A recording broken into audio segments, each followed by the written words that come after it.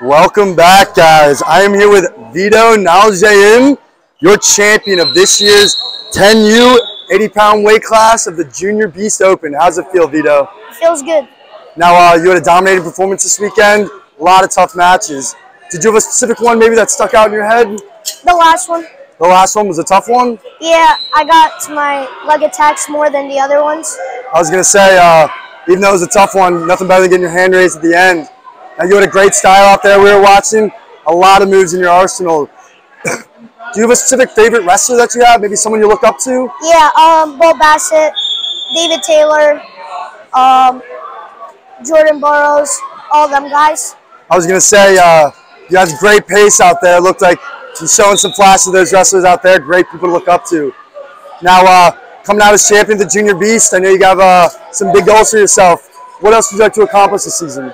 Um, in January, I want to win Tulsa. Um, I want to be two-time state champ, Keystone, PJW, and then move on from there. Well, we know if you wrestle like you did this weekend, we got no doubt we'll see you at the top of the podium around the country. Now, Vito, before we go, do you want to give any shout-outs?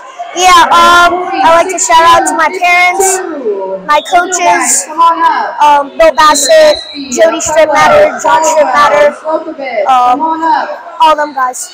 Great, great shout outs. Vito Naljayan, your champion of this year's 10U 80 pound weight class here at the Junior Beast Open. Look forward to following the rest of your season, Vito.